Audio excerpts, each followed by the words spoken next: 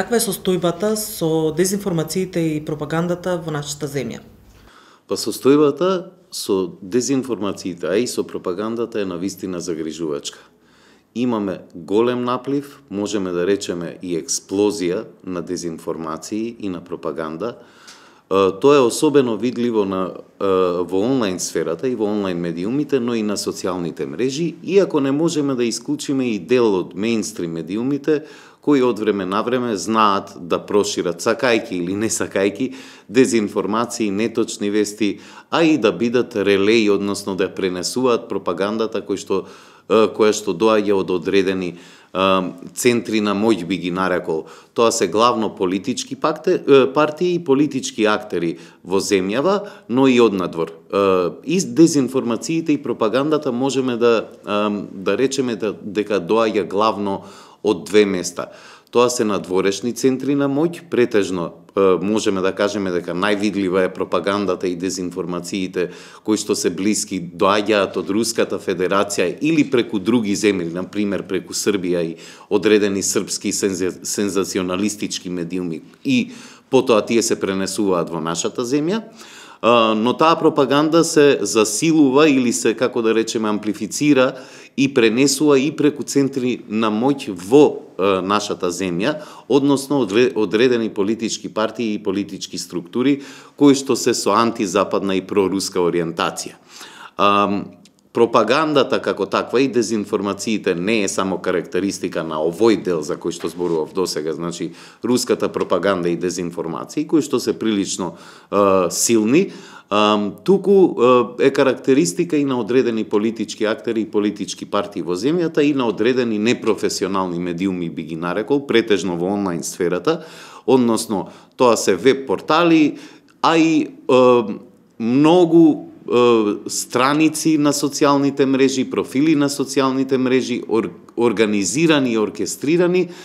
структури на социјалните мрежи кои што ја засилуваат таа пропаганда и тие дезинформации, најчесто во полза на тие политички актери, но тука има и друг тип на на дезинформации од сензационалистички, забавен условно речено карактер. Значи има се и се што и сета ова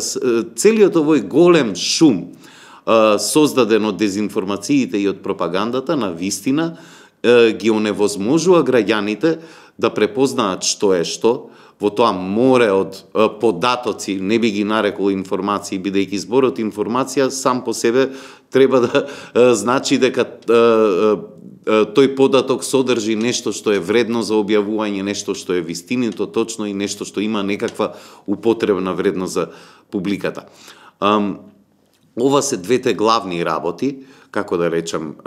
едно е влијанието на центрите од надвор, но второто е и влијанието на центрите однатре. На вистина е тешка состојбата и тоа создава еден амбиент на поларизација, создава еден амбиент каде што се нарушува довербата во институциите, во системот, граѓаните се повеќе гледаат со недоверба не само кон политиката и институциите, гледаат со недоверба и кон медиумите општо бидејќи нели сега кога кога вие сте соочени со таков наплив на работи кои што се невистините, губите доверба во се.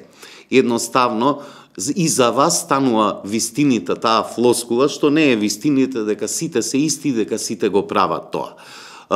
Ова може да се потврди и со неколку истражувања кои што беа објавени во текот на оваа година. Јас често го цитирам истражувањето на Метаморфозис од мај годинава дека 90% од граѓаните од прилика сметаат дека најмногу дезинформираат политичарите и медиумите општо.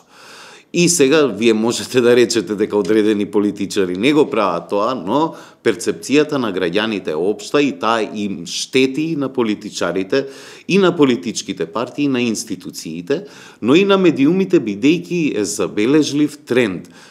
светски тренд е тоа, но особено е изразен во фрагилни демократии како што е нашата, на губење на довербата на граѓаните во медиумите и бегство од медиумите, воопшто бегање од информациите кои што се од некаков условно речено сериозен карактер, бидејќи тие ги ставаат во една положба на вознемиреност, граѓаните не сакаат да се чувствуваат лошо од како ќе примат некоја информација, а тоа е тоа што им се случува од како ќе поминат одредено време гледајќи телевизија или следејќи ги социјалните мрежи или читајќи содржини на порталите. Целата оваа ситуација е на вистина загрижувачка и треба да има одредена акција која што треба да биде обштествена. Значи не може тоа да го направат само институциите, само медиумите, само образованието, односно сите оние сфери кои што најмногу влијаат на јавната комуникација. Тогаш ако зборуваме дека тоа е буквално сите кои што се сегменти од нашето секојдневие, од нашето обштествено живење и делување треба да бидат инволвирани во борбата против дезинформациите и пропагандата, а, а оние од каде што доаѓаат и треба да доаѓаат вестите, информациите, точните или проверените, се оние кои што ја шират всушност дезинформацијата и пропагандата и на крајот имаме перцепцијата сите лажат, нема на кого да му веруваме. И а, сме соочени со огромен предизвик како да го надминеме тоа, како да ја вратиме довербата на граѓаните, како да ги убедиме дека не секој збор што ќе излезе од медиумите или од политичарите или од институциите и другите чинители во општеството е вистина, а не дезинформација. Е нешто што е корисно, а не е пропаганда во нели она најлошата смисла на зборот. Па ајде да тргнеме од најдолгорочната мерка, односно од нешто што треба да даде резултати на подолг рок, тоа е медиумската писменост. Ние за жал како земја сме на нај, на најдолните скалила, скалила од сите мерења европски кои што покажува дека во земјава има на вистина ниско ниво на медиумска писменост. Треба да се забрза процесот на целосно воведување од прво оделение во основно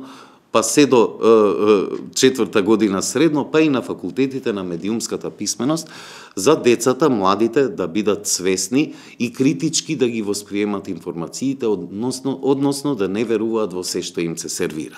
И да ги проверуваат и да дојдат да научат вештини техники како да дојдат до вистинската информација.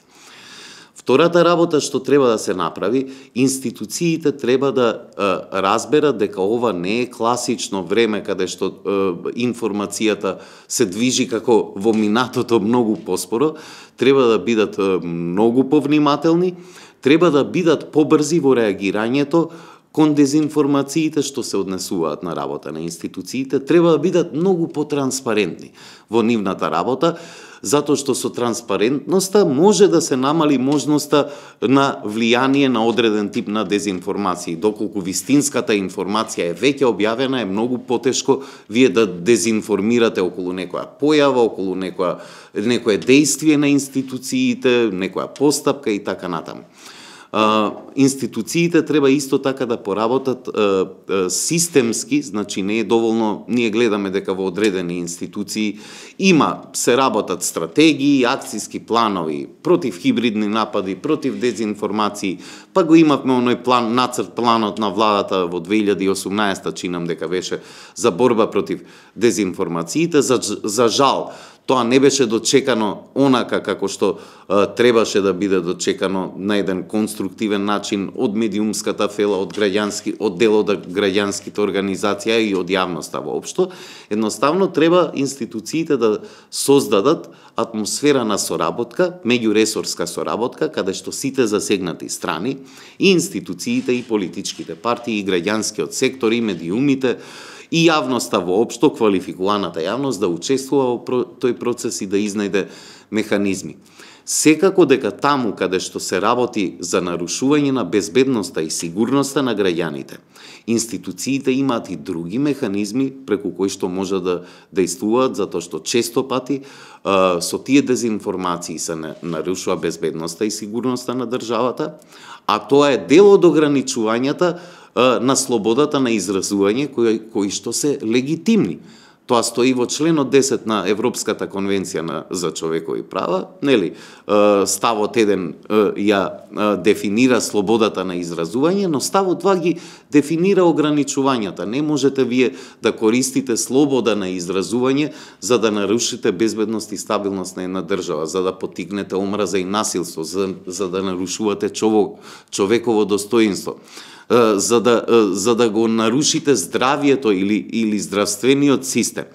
Тоа се некои работи кои што државата треба да ги земе предвид, институциите, особено оние кои што се надлежни да го надкривични дела од таков тип, како што се Министерството за внатрешни работи, обвинителството, треба да бидат многу поагилни, поажурни и во едукацијата и во превенцијата на тие работи. Ова, да речеме, се некои краткорочни и среднорочни ремки, е, мерки, значи треба многу повеќе конкретни постапки за да се испрати порака и до граѓаните дека има некој кој што ги заштитува нивните права, нивното право на е, вистински проверени, точни информации кои што ќе има возможа да направат информирани избори во животот, без оглед дали се работи за политичкиот процес избори или за изборите што ги прават во секојдневието. Дезинформациите и пропагандата често пати знаат да потикнат омраза. Омразата знае да потикне насилство. Ние видовме и неколку примери во, во последниот период како една жестока пропаганда, на пример, која што беше поврзана со целиот процес на отпочнувањето на преговорите на Северна Македонија за членство во Европската Унија, целата таа ситуација беше искористена за дезинформирање на јавноста, тие дезинформации кај, кај дел од граѓаните, бидејќи им беше кажано дека ќе им го избришат јазикот, им беше кажано дека македонскиот народ нема да постои од утре или дека веќе не постои. И такви работи кога ви доаѓаат како информации, условно речено, од повеќе кругови, од повеќе важни личности, јавни личности, кои што имаат некаков авторитет, тоа се почнувајќи од, од професори, академици и така натаму, па се до оние кои што влијаат на вистина имаат силно влијание во јавната комуникација, вие почнувате да верувате во тоа и тоа ве разгневува, создава омраза создава повици на насилство, создава повици за справување, насилно справување со неистомислениците, повици дури и за убиства. Ние видовме како тоа се прелеа и на, на улиците. Значи, не останува тоа во виртуелниот свет. Тоа се прелева и на улиците, се создаваат насилни протести, имавме имавме употреба на молотови коктели, имавме напади врз одредени нели седишта на на на некои организации кои што беа формирани, односно промовирани во тој период бидејќи беа про, формирани поодамна. Исто така политичарите треба многу да бидат повоздржани во нивниот дискурс, затоа што оваа радикализација, оваа поларизација на јавната комуникација не носи никому ништо добро. Денес вие сте тие, на пример, кои што ќе имате некој, некоја краткорочна придобивка од тоа што ќе бидете радикални во вашите изјави и ќе го нападнете политичкиот противник, тој може би ќе изгуби некои политички поени, но тоа ја легитимира формата на таква дискусија. Утре, истиот тој политички противник ќе, ќе почне да го користи таквиот начин на комуникација кон вас. Значи, треба малку сите да спласнат во емоциите, да ги согледуваат и да ги промислуваат работите, особено политичарите, политичките елити, затоа што ја туркаат земјата во бездна, ја туркаат земјата и граѓаните во конфликт, во меѓусебни конфликти по многу основи, по етничка, по верска, по политичка,